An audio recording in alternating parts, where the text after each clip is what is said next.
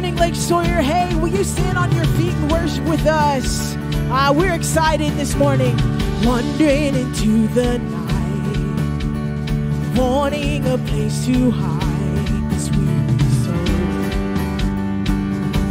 It's backwards.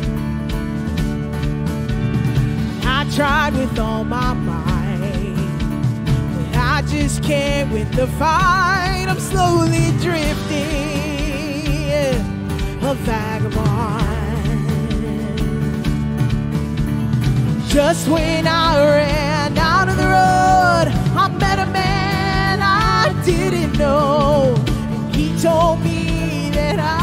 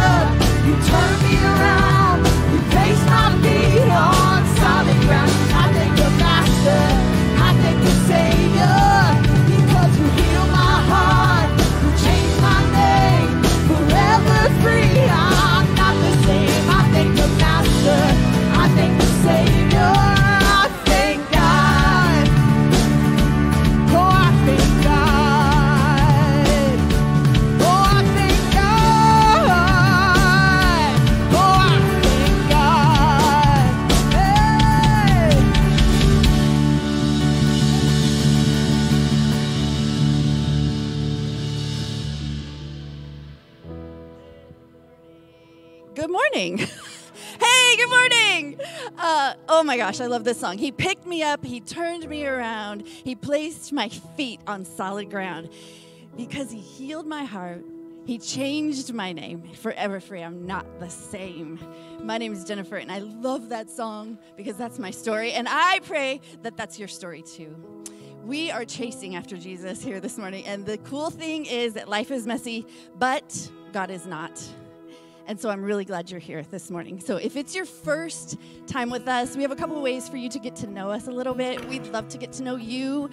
Um, but the first thing you can do is there's a QR code on that seat back in front of you. If you scan it, pull it up, there's a program in there. It's going to tell you a little bit more about Lake Sawyer. There's a connect card at the bottom. We'd love it for you to fill that out just to say hey and let us know you're here so that we can welcome you. We want to make sure you feel welcome here at Lake Sawyer because you are. And the other piece is there's something called Five and Five that we're going to talk about at the end of the service. So listen up for that if you're new. And meanwhile, we want to say welcome to you if it's your first time. If it's not your first time, I want to encourage you to find someone you don't know today and introduce yourself. Let's keep singing together. Welcome to Lake Sawyer.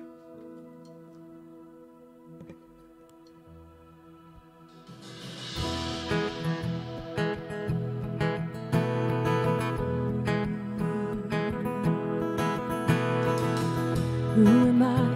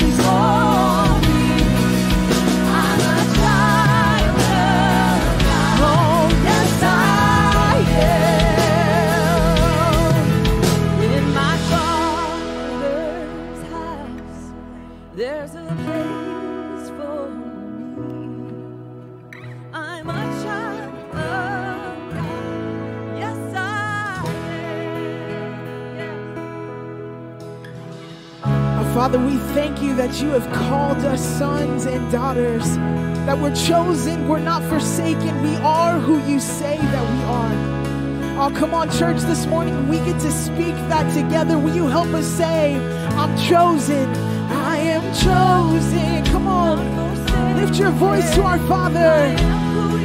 He's already spoken this over you. He's for you, He's never against you. Come on, let's lift our voices. Chosen, not, not forsaken.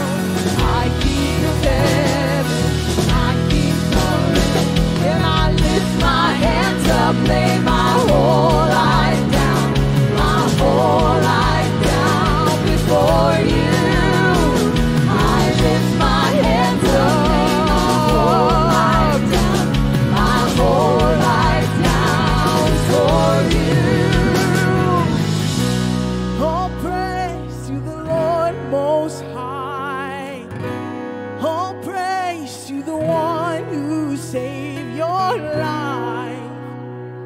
He's Jesus Christ, my King of heaven, my King forever. And all praise.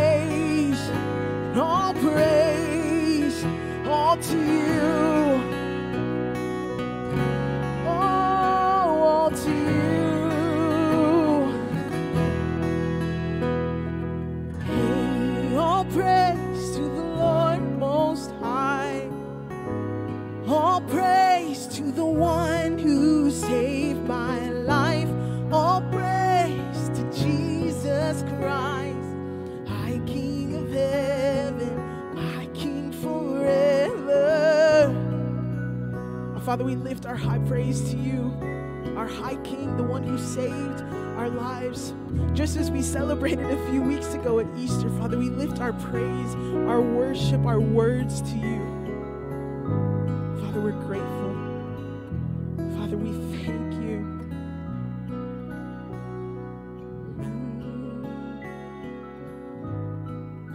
Father, we love you. In Jesus' name we pray. You can have a seat this morning. As we sit in this moment, we get the opportunity this morning to take communion together.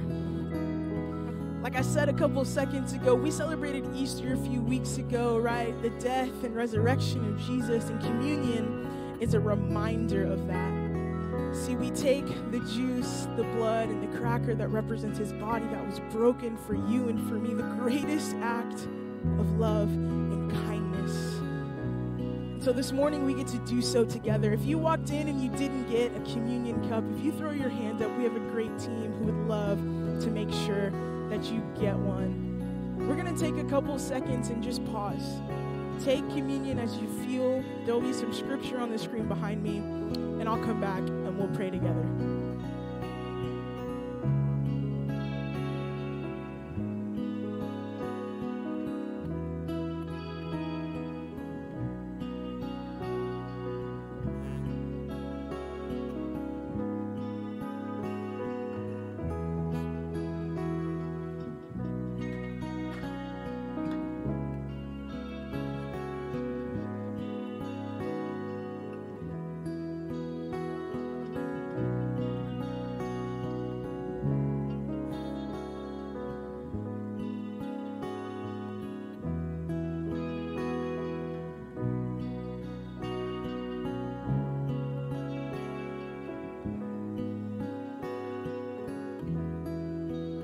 Let's pray. So, Father, we thank you for the reminder of who you are your body that was broken, your blood that was shed. Father, for the greatest gift of love and kindness. Father, we're thankful. God, would we do this, God, in remembrance? Father, we lift our praise and our worship to you. We love you. In Jesus' name we pray. Amen.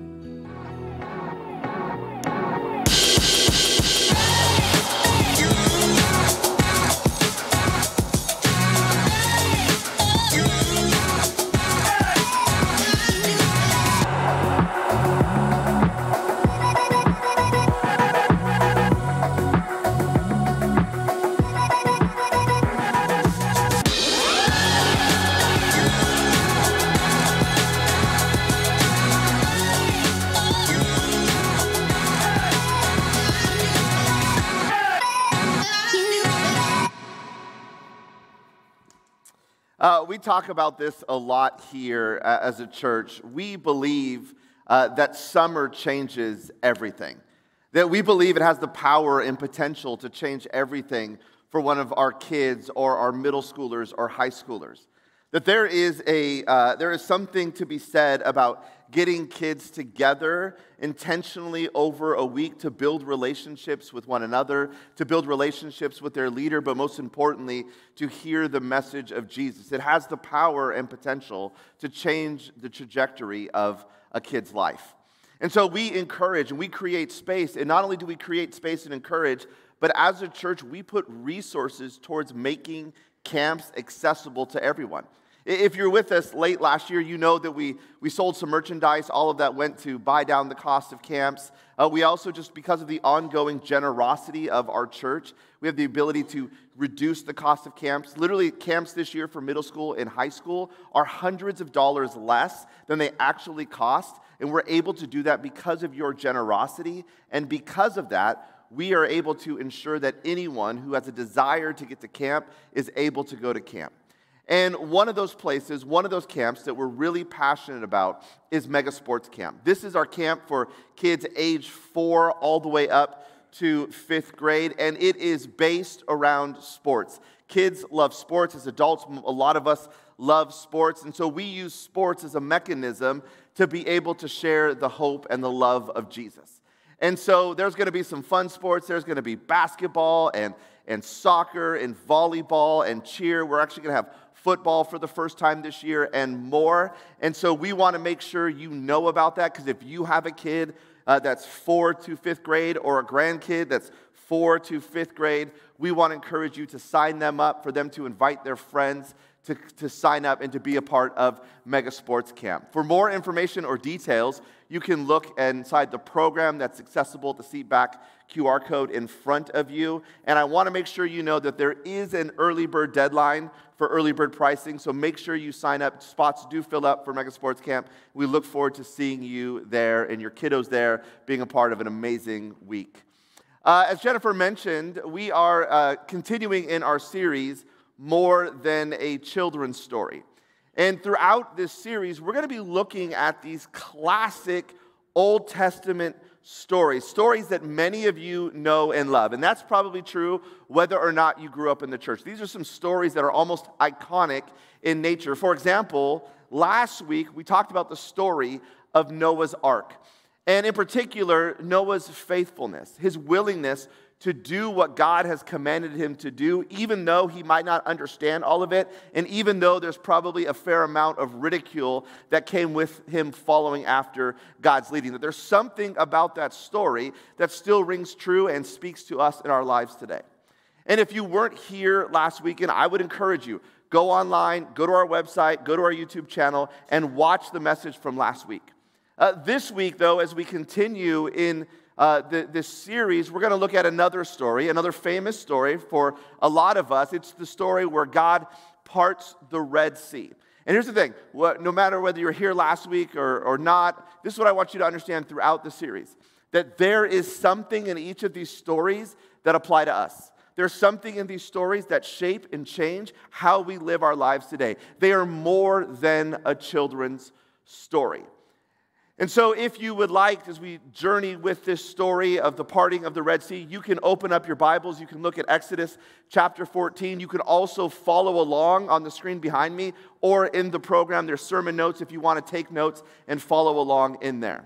Uh, as we join with this story, what's important for us to know is that um, God has been at work.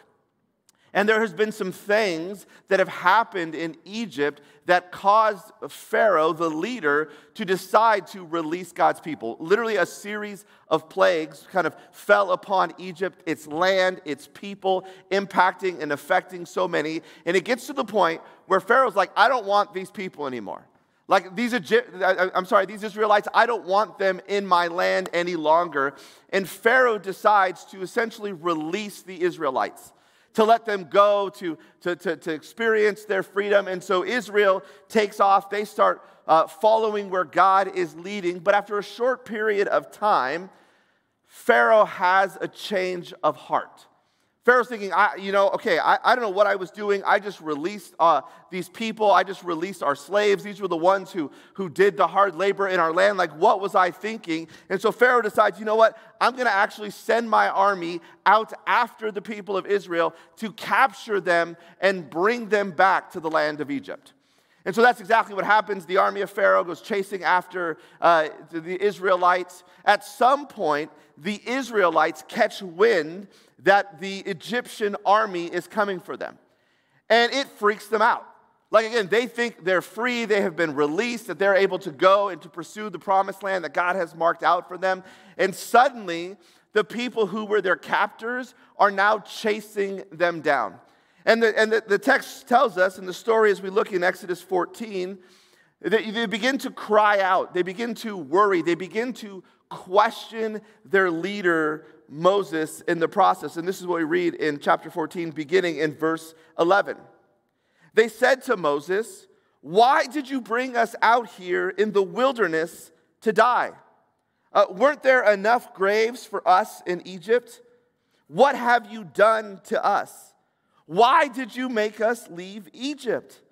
Didn't we tell you this would happen while we were still in Egypt? This is like the I told you so I told you this was going to happen, Moses. We said, Leave us alone. Let us be slaves in, uh, to the Egyptians. It's better to be a slave in Egypt than a corpse in the wilderness. When the people of Israel see the army, they immediately play out the whole scenario in their mind. And they've come to the conclusion we're dead.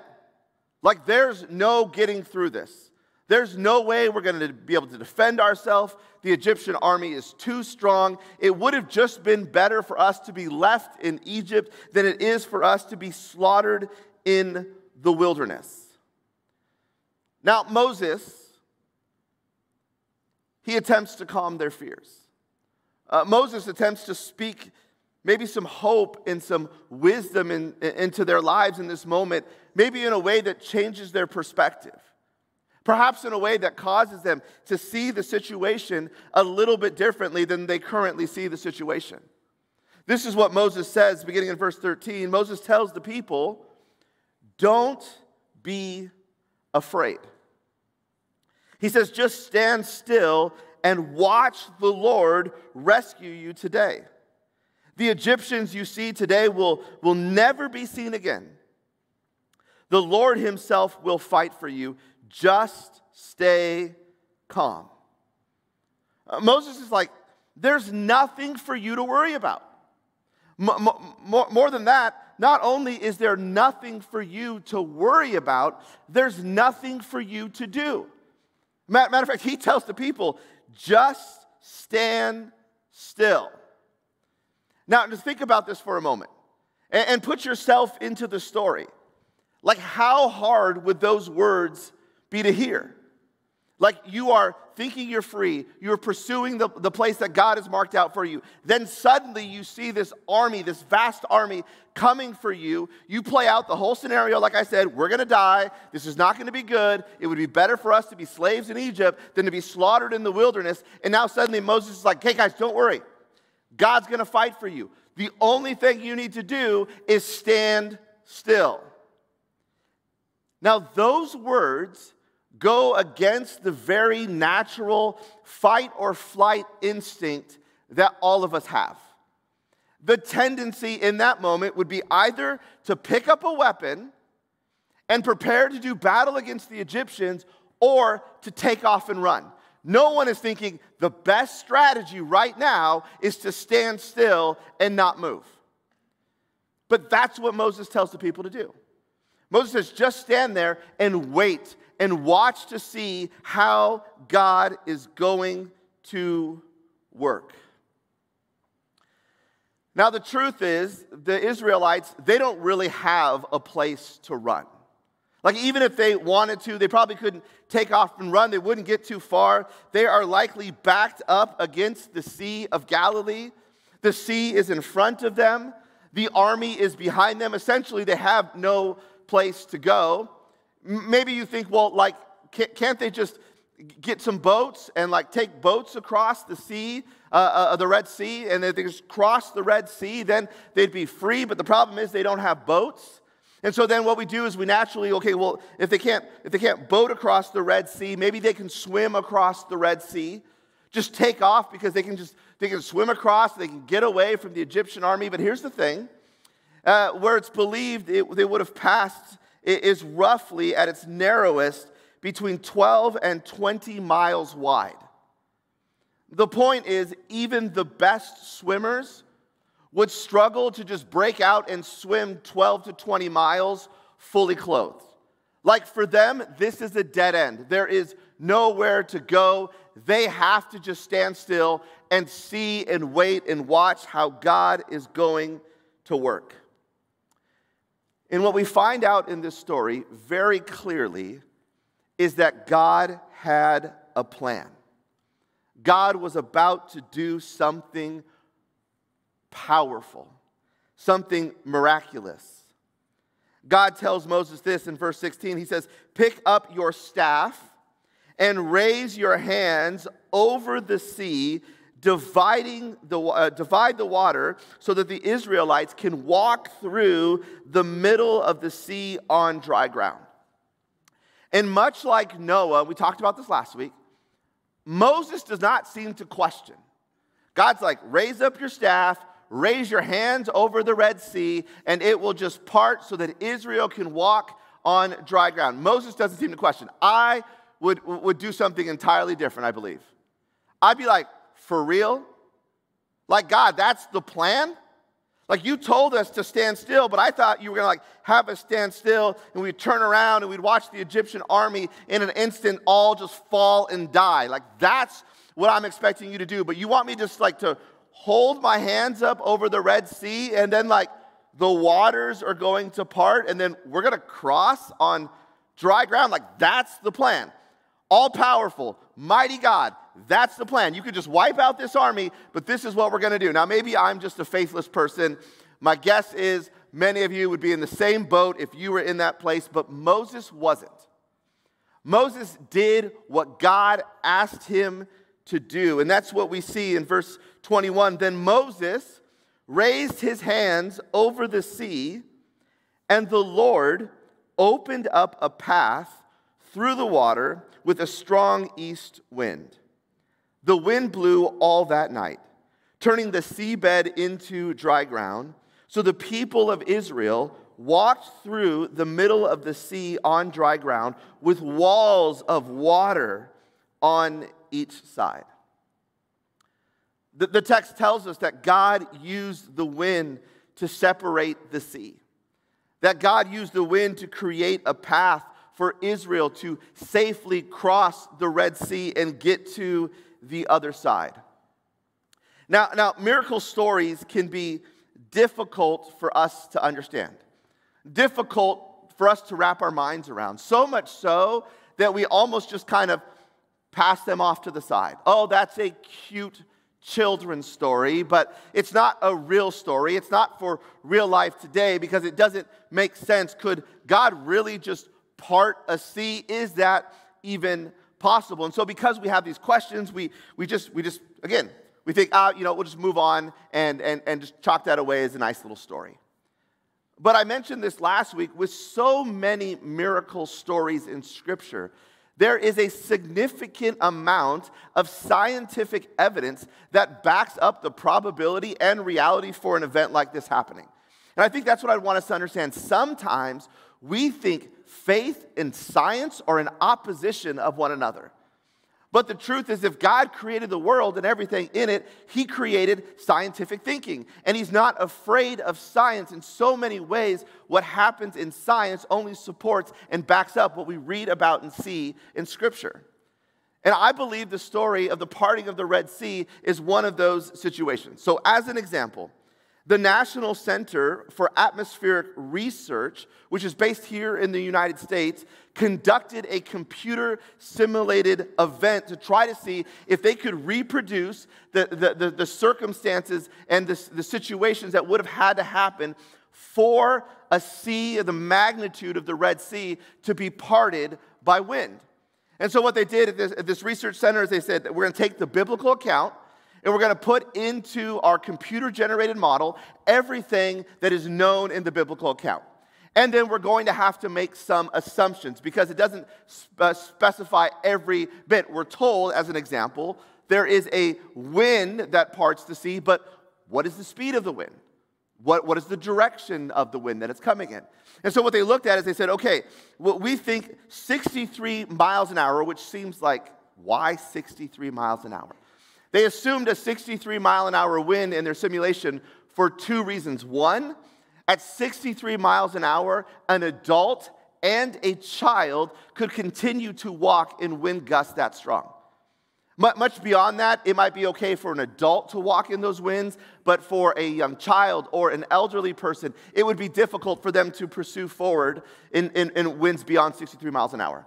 Another reason they chose 63 mile an hour winds is because that's what would need to have happened for a meteorological event known as a wind set down to take place. Now, I want us to understand here 63 mile an hour winds are not like ridiculous.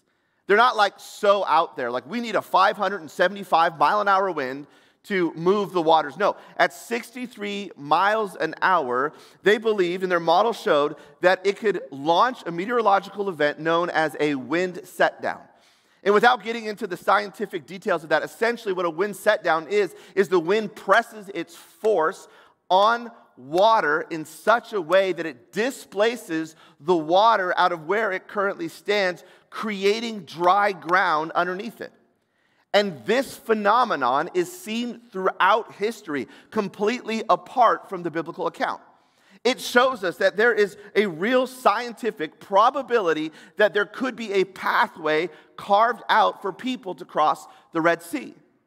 Now, the thing is, we don't know for certain if a wind set down is what happened. We don't know if there was a specific meteorological event in this moment that was aided by 63 mile an hour winds, so there would be just enough force to move the water, but not too much force to prevent people from walking. We don't know the specifics, but here's what I want us to, to understand it shows to me, and I would hope to you at least, that there is a reasonable probability a scientific backed reason. Not that God needs a scientific backed reason, but scientifically, we could look at it and say, hey, it makes sense that this could have happened. It makes sense that what God said was going to happen could have actually happened. And as the text tells us, that's what does happen. Moses extends his hands and the sea parts. And the people of God, the Israelites, they follow they follow Moses. They follow the path that God had opened for them. God promised to protect his people. God said, Hey, you just stand still. You just sit here and wait. I'm going to do the work. And that's what God did. And so the seas part, and this very act throws the Egyptian army into chaos. Again, they know the people of Israel, and, and, and, they've seen the way that their God, the God of all the universe, has acted on behalf, but how quickly we forget things. And so, even in pursuit of the Israelites, they probably begin to think, oh, we're strong. We're powerful. We can take over this group of people. Yeah, we saw what their God did, but that, that was then. This is now. And when they see the waters of the sea part, it throws the Egyptian army into chaos. And they recognize, not for the first time, I, may add, I may add, but they recognize that God was fighting on behalf of Israel. We continue in verse 26. When all the Israelites had reached the other side, the Lord said to Moses, Raise your hands over the sea again. Then the waters will rush back and cover the Egyptians and their chariots and their charioteers.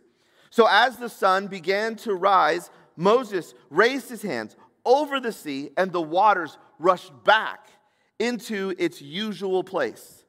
The Egyptians tried to escape, but the Lord swept them into the sea. The, the text tells us that when the people of Israel were safely across.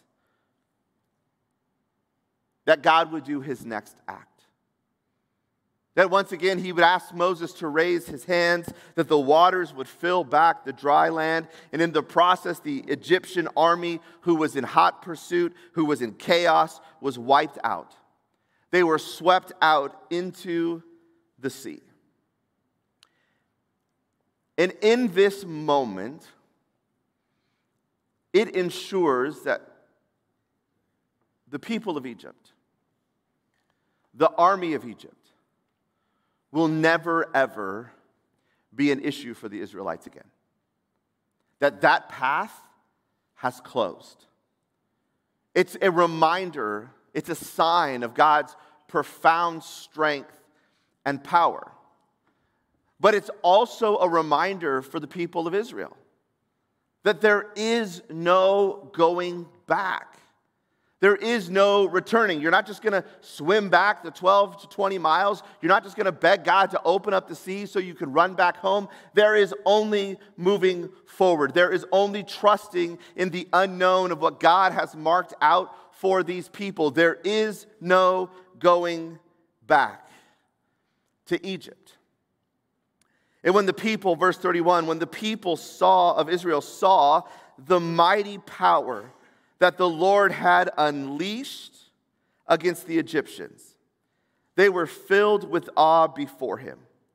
They put their faith in the Lord and in his servant Moses. The text tells us that in this moment they were moved.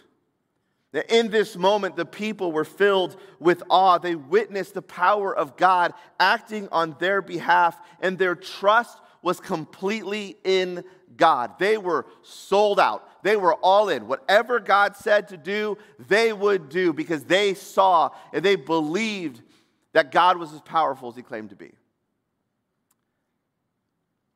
Now, unfortunately, it didn't last for long. You just move forward a few chapters, and the text tells us when life got to be difficult, when the circumstances became uh, a struggle, when the unknown became maybe too um, present for them, too in front of them, they began to long to go back. Just like before, they cried out to Moses, Can't we just go back to Egypt? Can't we once again just be slaves in Egypt? Like at least life was known there. Like we were at some level in charge a little bit there of our own lives, but this, it's just, God, it's just overwhelming. And it blows my mind how this repetitive pattern can play out. Like you are a slave in Egypt, and you see God through these plagues show up and move powerfully in such a way that Pharaoh's like, I'm done with you, go. And so you head off, and then along the journey, you realize the army's coming after you. You're overcome with fear. You long to go back, but God says, No, no, no. Just stand still. Watch what I'm going to do. And then God moves. And God creates a way for you to cross the Red Sea. You cross the Red Sea. He wipes out the army in the sea. You are free once again. Like, God, we are fully on board with you. We trust you. And then you go just a few months later. And they're like, oh, we would just long to be back in Egypt. Life was better in Egypt. Being a slave was better than this. Can't we just go back? Now, it would be easy for us to look at the people of Israel and think, man, you guys got this all messed up. Like, yeah, if, if God moved for me like God moved for you, then I would never question like you did. But here's the thing we're just like them. We are just like the people of Israel. Like, no, we don't live in Egypt, but we do live in a foreign land. I mean, scripture tells us that we are citizens of another kingdom, that we are not citizens of this earth, which means we have an allegiance to a good and better king. That we are called to have an allegiance to our King, King Jesus that our lives center around His leading, that all that we do works to usher in His kingdom into the kingdom of this world. And we do this because we're not citizens here. We're citizens of another kingdom, and we know that. But we live in the tension of this reality where it's like, oh, but but the world has an allure to it. There's some things I like about the world, uh, some things that I really enjoy about the world. And so we kind of get sucked into the world and we start building the kingdoms of this world. And then we have these moments like, no, no, no, I'm a follower of Jesus. Like, I, I, I'm, I'm building a different kingdom. And so we focus on that maybe for a season, but slowly we kind of get sucked back over into these, these buildings of the kingdoms of this world and the promises and the pursuits. And we struggle and we war to go back and forth. And in that way, we're just like Israel. Like God has shown up. God has moved in our lives. God has changed and shaped our hearts. And if you're a follower of Jesus, you know that to be true. If you're not yet a follower of Jesus, I promise you, when you submit and surrender your life to Jesus, He will begin to shape and mold and change your heart. We know this reality to be true. But yet we're drawn to the false promises of something else to the joys and the pleasures that might last for a moment, but will never last for eternity. And so we focus and we build these kingdoms of the world, and we build these kingdoms, it pulls us farther and farther away from the kingdom of God. Uh, it's like this I, I have some ladders. I'm going to bring out these ladders on stage. I'm just going to use these ladders as an illustration. Please don't videotape what's about to happen because if I fall, I don't want to end up on, on YouTube. That would be really bad. If I fall, I want someone to come help me, okay? Is our medical team in place today? We have a medical team in place. Okay. I'm going to be fine. Wow, that's maybe a little far. That's going to, yeah, we'll smooth these ladders. There we go. All right. Thank you, Noah. Thank you, Noah. Thank you, Rachel. All right. So we have two ladders. They are safe ladders. They are not lifted beyond the point where it says last locking position, danger, do not extend beyond this. So we're in a good position. Now, each of these ladders, they represent really two different things. And, and I'll just say, for, for the sake of kind of uh, what we're looking at today, that this right here, as it lines up, this represents sort of the kingdom of God. Over here is kind of represent, representative like the kingdoms of this world. And what happens inevitably is we kind of live in this place where we straddle the kingdom of God and the kingdom of, of this world. Right? And we kind of live in both of these places, but ultimately in life, what happens is we're drawn one way or the other. And so, as we get drawn closer to the kingdom of God, as we see ourselves as citizens in the kingdom of God, we work and we grow in our faith and we start to build up uh, the kingdom. We start to see that permeate and live out in our world today, and we continue to grow in our faith. But what happens over time is we start to get like, we get sucked back in. And we see the promises of the kingdom of the world, and like we know we should be here, but but man, th- those cars are really nice. Those houses are really nice. Those again, not cars and houses aren't bad, but like the promises, the people, the lust, the addiction. We're like, that's kind of fun for a moment, but like I'm, I'm here in the kingdom of God. But you know what? Like we'll kind of like just stretch out. Like if we can just rest our weight here, but just touch this, we can kind of live in both places. And then we climb a little bit higher in our faith, and of course, the tension and the stretch gets to be a little bit further. You know, we got to really lean into this, but we still want to be a part of it. Now, this is maybe what we would like our lives to look like. The truth is, for most of us, we have focused our lives on building this kingdom, the kingdoms of this earth, building our kingdom, making sure we're in control, making sure we're safe. And we just keep climbing the ladder and we get higher and higher. And we're like, oh, Sunday's coming. Okay, I'm at church. I'm doing what I'm supposed to do. I'm, God, I'm at church. No, no, this is a value for me. And then we climb a little higher and we're like, no, yeah, I can't reach that without like falling. And so we're like, okay, okay, that's maybe too far. But like, okay, but I'm at church. And like, but God, I'm like, I'm gonna be in a small group. And God, I'm gonna give. Don't fall. And you know what happens? We start to cling tighter and tighter to this. Because if I let go of this, it's all going to come crumbling down. And the truth is, we can't live like this. We can't. We can't live in both worlds unless we accept such a small version of life that we're able to comfortably straddle both areas. And so we think, okay, well, this is good. This is good because I'm comfortable in either area. And I feel good enough about my faith. I feel good enough about my place in the world. If I climb too far here, then I, I don't know if I feel good about my faith. And if I climb too far up here, well, then I just, I, I, I fall behind the world. I, I can't keep up any longer. People are going to think I'm weird. They're going to think I'm the person that's trying to build a, a, an ark out of nowhere. So I don't want that. I don't want to be weird. So I'll just like, you know, I'll, I'll be like a good Christian, like halfway up this ladder and halfway up the world's ladder. Here's a question I have for you What version of life have you chosen? Look, be real honest with yourself right now. I'm not going to ask you to raise your hand. I'm not going to ask you to identify to everyone in this room. But I want to know what, which version of life have you chosen? Have you chosen to build your life in the kingdoms of this world? Have you longed for the promises and the allures of Egypt?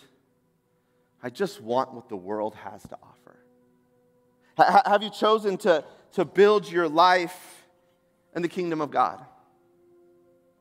And whatever God calls you to do, this is what you submit yourself to, even if it makes you uncomfortable, even if you don't understand it, even if you don't know what the natural next step is. Have you committed yourself to this life? Or have you committed yourself to the life where there's the lesser version, where you have a little bit of both, but you're still comfortable? What have you chosen? And my challenge for you would be no matter what you've chosen in the past, to recognize right now in this moment, you can choose something different. And in case you're wondering what the right choice is, it's to build your life on this kingdom.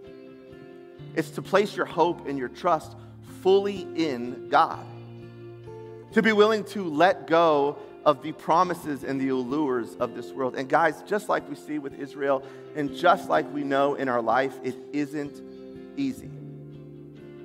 I think that's why John wrote these words in 1 John chapter 4. John would say this. He would say, uh, But you belong to God. Your life, you belong to God, my dear children. You have already won a victory over those people. Who are those people? The false prophets of the world. You've won victory over the world, over those people of the world, the promises of the, the world, the, the false and empty allures of the world. You have won victory over the world because the Spirit who lives in you is greater than the Spirit who lives in the world. That the Spirit inside of us is stronger than anything the world can offer us. God has marked out a path. God has paved the way. God has parted the sea. God has shown us what it looks like to follow after Him. But you and I, we have to make that choice. You and I have to make the decision to trust God and to step and to walk the path. Being willing to leave this life behind. Even though almost daily we recognize it'll be a struggle because Satan works that way. Satan constantly tries to pull us back, pull us in, gets us to kind of divide our allegiance, to reach out to a life other than a life in God, a life in Christ. And so daily we have to not only choose but acknowledge that the power in us is greater than the power of this world. And that there's victory that has been won already because of what Jesus has done on the cross. And so, my encouragement to you, my challenge to you, to me, to all of us, is to choose to build our lives on Jesus to be willing to let go of this kingdom so that we might fully embrace and grab hold of the kingdom that we were meant to belong to from the very beginning. That this is where life is found. This is where freedom is found. This is the life that's been marked out for us. Would you pray with me? Father God, I thank you for the story that we've just looked at. I thank you for the way that you moved powerfully to part a sea for your people to cross. But even in the midst of that, God, I can recognize in my life how I have a tendency to long to go back, just like Israel did. To long to go back to the way that life was, to long to go back even if it's a lesser version of life, than to step into and trust in the uncertainty to which you're leading me. And God, I know I'm not alone. It's a tension that we all live in, that we are citizens of the kingdom of God, but we are residents in the kingdoms of this world. And daily we will feel this constant struggle and pull. But in those moments, may we be different than the people of Israel. In those moments, may we recognize that there's truth in your word, that victory has been won, that the battle has been won, that we have been set free, and that what lives in us, the Spirit's power that's in us, is greater than the promises of this world.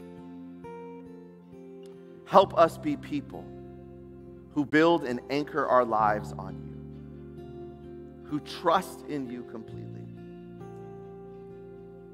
who follow the path that you lead us on. We pray all this in Jesus' name.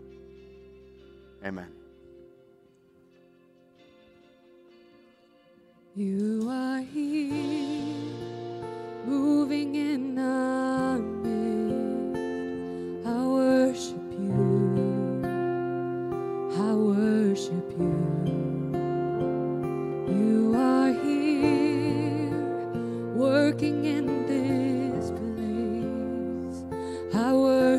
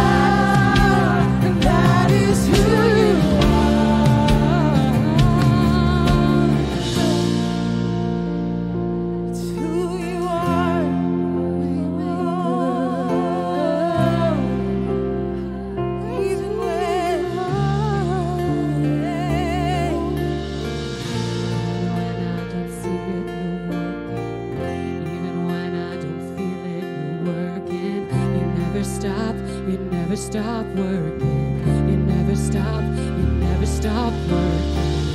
Even when I see it, you're